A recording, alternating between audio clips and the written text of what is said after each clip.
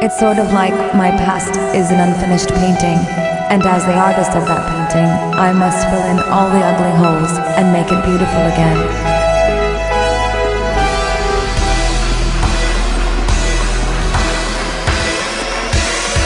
Trauma is the ultimate killer.